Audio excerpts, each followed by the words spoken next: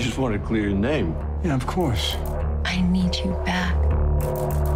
It's the same guy for each one of these things. Three quick heists. He's following a pattern. This is the guy. Sau đó hai ngày cũng trên kênh Fox Movies sẽ là một bộ phim thuộc thể loại phiêu lưu hành động, trả thù. Phim kể về Jacob, một nhân viên ngân hàng hiền lành đang sống êm đềm và hạnh phúc bên người vợ Christina và cô gái nhỏ Sophia. Trong một lần ngân hàng nơi Jacob làm việc bị cướp bởi một gã đeo mặt nạ, Jacob bị tình nghi liên quan. Anh đã lên kế hoạch lần theo tên cướp nguy hiểm với hy vọng rửa sạch oan ức cho mình.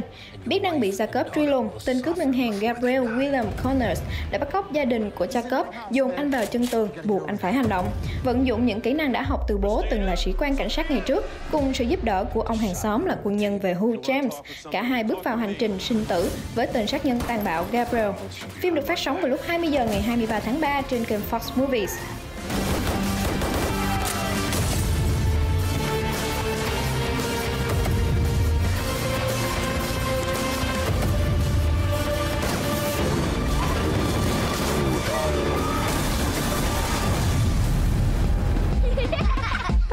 I think our daughters are friends. I think that makes us friends.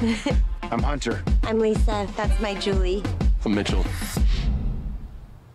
Kayla's hero. We the life of the party. I can't believe it's prom. They're so grown up. I can't even hug my daughter anymore without feeling her boobs.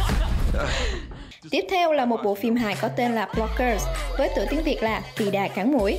Bộ phim là cuộc hành trình xoay quanh nỗ lực của ba vị phụ huynh nhằm ngăn chặn ba đứa con gái 18 tuổi của họ ăn cơm trước kẽn. Liệu kế hoạch của họ có thành công? This is our last big night together. This pact is gonna make tonight even more perfect.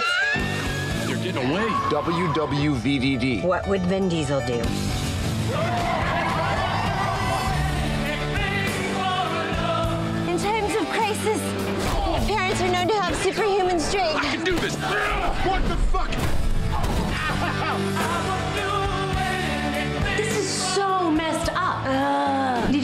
Try to stop you when you wanted to lose your virginity? He was too busy high fiving me.